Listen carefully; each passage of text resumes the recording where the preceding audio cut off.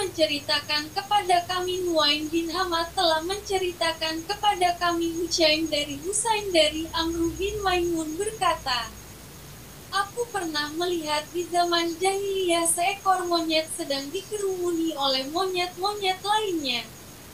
Monyet itu telah berzina lalu monyet-monyet lain merajamnya, melempari dengan batu, dan aku ikut merajamnya bersama mereka.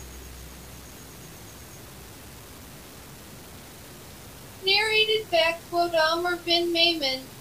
During the pre